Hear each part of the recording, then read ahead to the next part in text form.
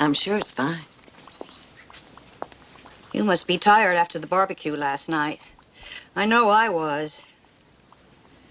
You need some help? Well, I love your company, and if I get you to stay here with me, yes. Why don't you cut up some more of those vegetables? I just tossed and turned all last night. You know, it's funny, I never had trouble sleeping when I was married. But uh, there's something about having a man around. Yes. Jessica, I want you to know that I love your brother very much. And I intend to make him the best wife I can. Something sure smells good.